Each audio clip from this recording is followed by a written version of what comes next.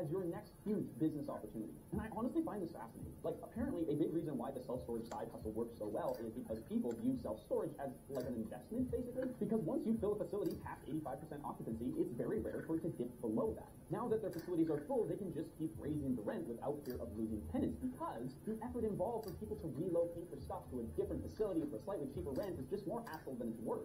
And as a result, self-storage has exploded to unheard of proportions over the past few years, height of the pandemic when everyone was converting their basements into personal gyms and their bedrooms into offices. Suddenly, the clutter in your basement was in the way of your ability to enjoy that space, so the stuff needed to go somewhere. At the same time, though, with rising unemployment that followed COVID, renters and students were moving back in with their families, and there was suddenly a whole lot less space to hold their stuff. The self-storage industry took their cue and profited off of this instability from the pandemic, catapulting into the most success that this industry has ever seen. And while the interest in self-storage has cooled more recently with people relocating less and some of the disruption from COVID settling down somewhat, the industry is far from dead.